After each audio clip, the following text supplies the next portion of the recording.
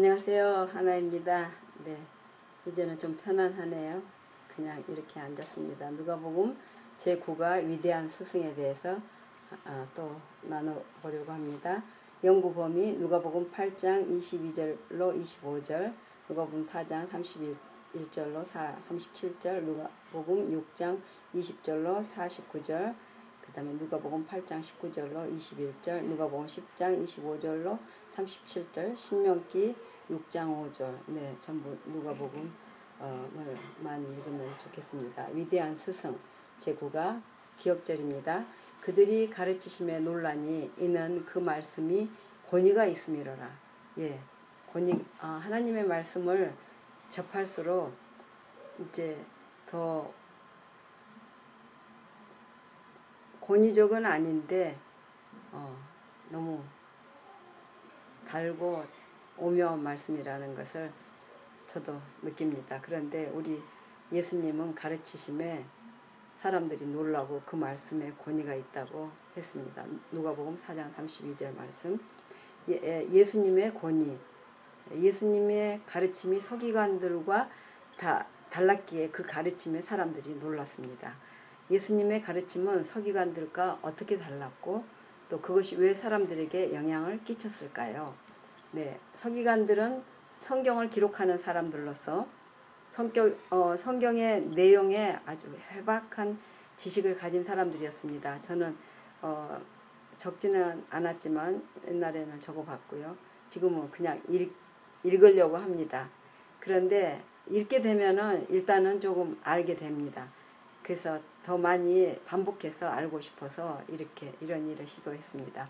서기관들이 가르치거나 설교할 때는 성경을 성경으로 해석하였고 그 해석은 성경에 기록된 그대로였습니다. 반면에 예수님의 가르침에는 성경을 글자 그대로가 아닌 성경을 주신 하나님의 품성대로 다시 해석하는 그런 가르침이었어요. 마태복음 5장 38절로 39절에 또 43절로 44절 그 다음에 마태복음 19장 8절에 그렇게 쓰여 있군요. 예수님의 가르침에는 무조건적인 하나님의 품성이 드러났으므로 사람들의 마음에 감동을 일으켰습니다. 사랑은 사랑으로서만 일깨워집니다. 사람이 무조건적인 사랑에만 감동을 받는 이유는 사람은 하나님의 조건적인 무조건적인 사랑을 받기 위해 태어난 소중한 존재이기 때문에 네 소중한 어, 존재이기 때문에 네, 소중한 존재이기 때문입니다. 내, 나 자신도 이 사실을 제대로 알지 못하지만 나를 창조하신 하나님의 의도는 나를 섬겨주시고 또 사랑해 주시기 위해서이기 때문에 사람들은 조건 없는 사랑에 반응할 할 수밖에 없는 존재입니다. 어, 그러죠? 인생을 살아보시니까 외로우시고 또 특히 아프고 형제, 부모, 가족이 아무도 없을 때 뭐 많이 느껴보셨을 것입니다. 배고픈 서름. 네, 예수님의 설교에는 하나님의 사랑이 담겨 있습니다.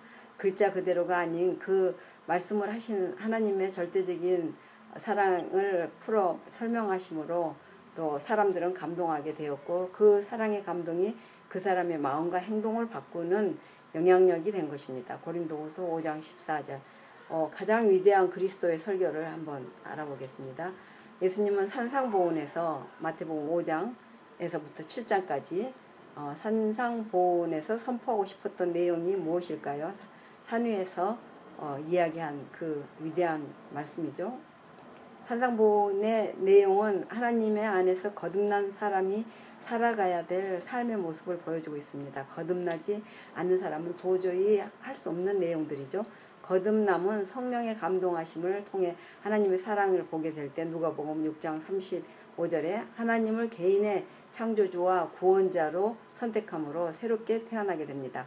거듭난 사람은 성령의 인도하심을 선택하게 되고 성령은 그 사람으로 하여금 새로운 생각과 행동을 하게 합니다. 누가복음 6장 30, 27절로 31절, 37절로 38절, 그 다음에 45절이죠. 새로운 가족, 그 산상보험을 다 읽어보셔야지 되죠. 복 있는 사람은 네 어떻게 된다는 것을 다 읽게 되죠. 하나님 안에서 새로운 가족은 어떻게 형성될까요? 하나님은 아담 안에서 모든 인류를 하나님의 가족이 되게 하셨어요. 그러나 아담이 하나님을 거절하시고 사단에게 속하는 선택에 의해 아담 안에서 태어난 모든 사람들은 나면서부터 사단의 자녀가 일단은 되었죠. 하나님의 입장에서는 아들 아들을 잃어버린 것이죠. 딸, 저 여러분 아들, 딸 잃어버리 하나님이 잃어버리셔서 애타게 지금 찾고 계시는데 왜 그냥 억지로 강제로라도 우리를 데리고 가실지 굳이 사정을 하시면서 그렇게 와라 와라 그렇게 하시는지 참 답답합니다.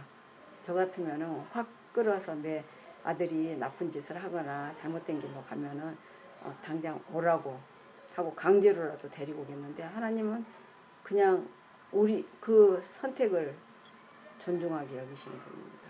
정말 우리를 존중하시고 하다못해 존경까지 하시네요. 정말 너무 공경스럽고 저, 어, 존귀하신 우리 하나님이시네요. 잃어버린 아들을 찾기 위해 아들 아담을 창조하신 아버지께서 친히 아들 두 번째 아담 두 번째 아담의 위치로 이 땅에 오셔서 하나님의 아들로서 십자가에 돌아가시고 부활하심으로 첫 번째 아담의 선택으로 어, 인한 결과인 영원한 죽음을 해결하셨어요. 예수님을 통해 새로운 생명의 아들이 아들들이 되게 하셨어요.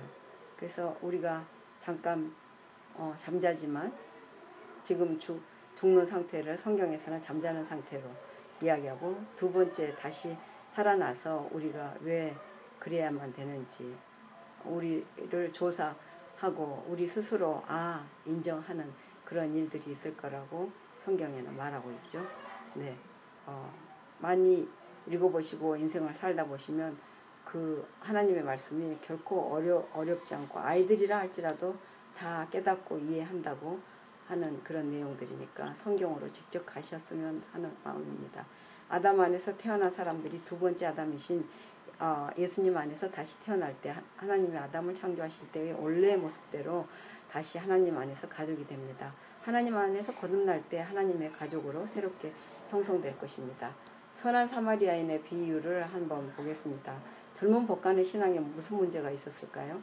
어, 젊은 법관은 굉장히 어, 젊은 사람인데 법관이 되었어요. 그 사람이 예수께 찾아와서 뭐라고 했는가 봅시다. 젊은 법관은 성경에 기록된 대로의 신앙을 하는 사람이었어요. 아주 참한 사람이었죠. 성경에 기록된 대로 그 조건에 맞는 신앙을 해야만 영생을 얻을 것이라고 생각하는 사람이었습니다. 성경을 많이 읽고 안다고 해서 하나님의 마음을 다 읽는 건 아니네요. 어, 기도하는 마음으로. 그래서 그의 최고의 관심사는 내가 무엇을 하여 영생을 얻으리까?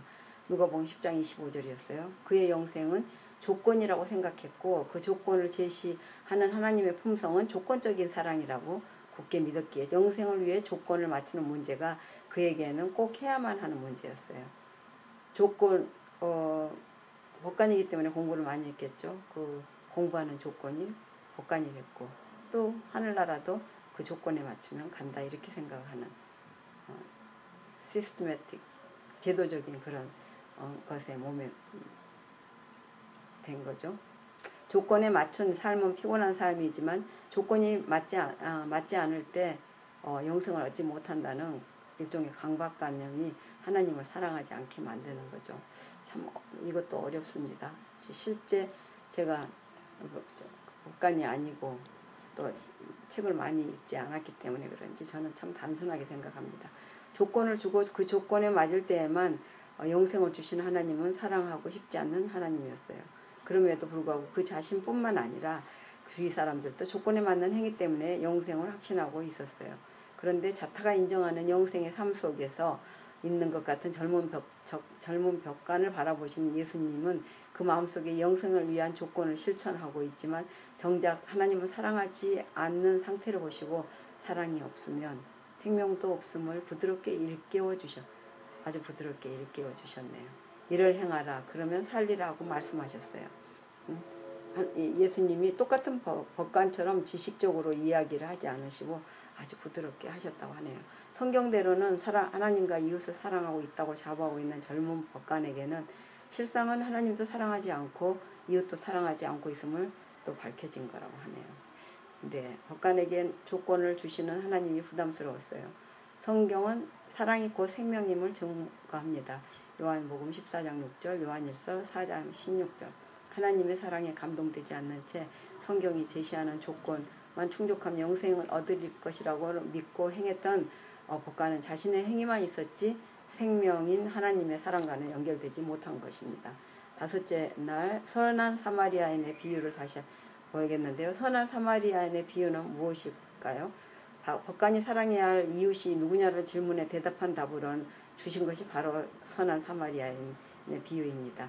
비유에서 강도 만난 자는 법관 자신입니다. 하나님의 품성을 알지 못한 지 영생을 위해서는 조건을 맞춰야 된다는 생각에 사로잡혔기 때문에 사단이 영의 생각이 사단의 영의 생각이 빼앗긴 자였어요. 조건을 맞추는 일이 너무나 힘들어 지쳐 있을 때 제사장도 지나쳤고 레인도 지나쳤어요. 그들이 강도 만난 자를 지나친 이유는 그들의 사랑이 조건적이었기 때문이었습니다. 강도 만난 자를 잘 알지 못했기 때문에 지나, 어, 지나쳐버린 거죠. 그런데 사마리아인은 강도 만난 자를 알지도 못하지만 조건 없는 사랑을 베풀었어요. 완벽한 사랑이죠. 부비가 더 들면 다시 와서 그것까지도 계산하겠다는 무조건적인 사랑을 모습이었습니다. 사마리아인은 예수님에 대한 표상입니다. 네, 그 예수님이 사마리아 강도의 이야기를 바로 부자복간에 대한 어, 예, 비유였군요. 이 비유의 끝부분은 내 의견은 이 세 사람 중에 누가 강도 만난 자의 이웃이 되겠느냐였어요. 결국 강도 만난 치아, 어, 자인 법관이 사랑해야 할 이웃은 바로 예수님이었습니다. 법관은 예수님을 사랑하지 않았습니다.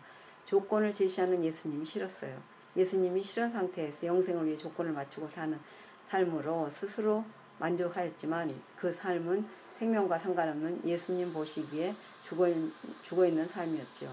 하나님을 사랑에 감동하지 않고는 아무라도 하나님께로 오지도 않고 하나님을 사랑할 수 없기 때문입니다. 하나님을 사랑에 감동할 때 그 사랑에 대한 반응으로 하나님을 사랑할 수 있게 됩니다. 사랑의 결합이 바로 생명입니다. 네. 여러분 중에 부자복간처럼 살고 완벽하고 어, 아무 부족한 것도 없이 선한 그래 선하게 어, 의롭게 사는다고 자, 자청하는 사람들이 있을 것입니다. 바로 이 부자복간의 화를 잘 어, 어, 깊이 생각하시고 선한 사마리아인의 그 이야기 무조건적인 사랑을 베푸는 그런 사람으로 어, 연습할 수 있도록 살았으면 좋겠습니다. 저도 그런 사람이 되기를 바라고 예수님의 사랑도 우리들에게 바로 연습해 주시는 사랑이었어요. 우리에게 본을 보여주시려고. 우리는 정말 예수님의 본을 따르려고 연습하는 그런 어, 어, 그리스도인들이 되어야 될 것 같아요.